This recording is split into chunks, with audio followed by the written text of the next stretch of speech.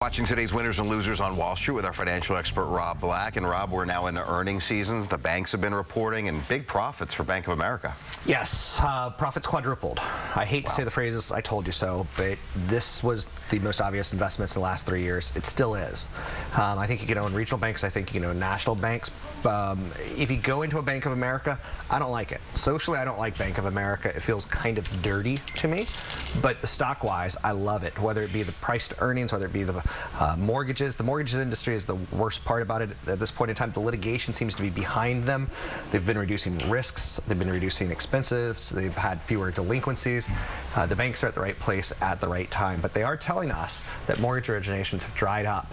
And that could be telling us that um, instant gratification of real estate could be stopping for America but in hot areas with jobs like the Bay Area on the peninsula, I'd expect real estate prices to continue to notch higher. All right, we're talking Tesla, and we often can't decide if Tesla is in fact a car company. I know they are a car company, but as far as an investment angle, and now they're really uh, increasing their sales. Uh, you starting to think of Tesla more now as a car company, or still? Uh, I think they're established. Okay. Um, I'm not going to go totally against them. Okay. Um, they've had some issues, um, recalls. They have yeah. to update their software to move their cars a little higher. They're moving their batteries a little higher. Uh, but Elon Musk seems to be a master of this stuff. A couple of the chargers that plug into your garage have melted, um, which is not that much of a problem. It, it happens in life. So it's high-end electronics. They sold 6,900 Model S sedans. These are gorgeous $70,000 vehicles. Last year they told, sold over 22,450. Ford sells that in a couple of days. Um, revenue for the fourth quarter is going to be beating expectations.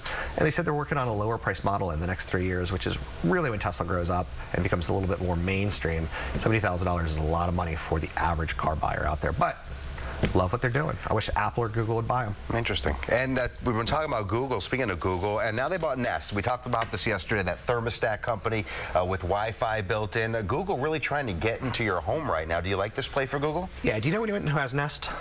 It, it, it's yes, it's very cool. I've seen it's them. It's very cool. It's stylish. You can go into it's Home a learning Depot. thermostat. It's a learning thermostat. So when you leave the house, it's got sensors in it that says you're gone. There's no need blasting air conditioning on a hot summer day. Air conditioning goes away. Uh, when you're gone, the, like maybe at 5.30 when you're waking up, it knows that, so it knows to start turning up the heat. The personal reviews on the product are horrific. the uh, magazine reviews are, you know, they go goo-goo for it. Uh, goo-goo gaga. Um, for Nest, they have a smoke detector. It's all about the Internet of Things. In theory, in the next couple of years, your refrigerator will be able to tell you, the repairman, hey, it's a belt, or hey, it's a, an adapter that we need. Uh, more and more things are going wireless in your home. I like it. I think Nest is a cool product. This is an insult to Apple because this was Tony Fadell who uh, basically designed the Apple iPhone. Uh, for him to go to work at Google, the arch enemy of Apple, is intriguing to say the least. And again, people just scratch their heads. Why didn't Apple buy this? Because it's controlled by an iPhone. Um, it's mm -hmm. beautiful. It's sleek. It's in your house.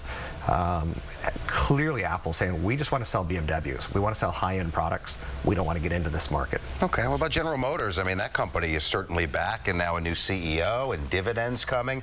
And you know, a lot of people got burned with GM stock with the bankruptcy. Do you like that stock now? I still like the bonds. Okay. In the end, they're a manufacturing company, okay. and I'll always say they're a manufacturing company. The bonds pay, or the preferred shares pay a, a big fat dividend, um, and that's something that I like. The question is for you is, do you like the company? Um, they had the number one uh, Chevy Silverado last year. They had the number one car last year.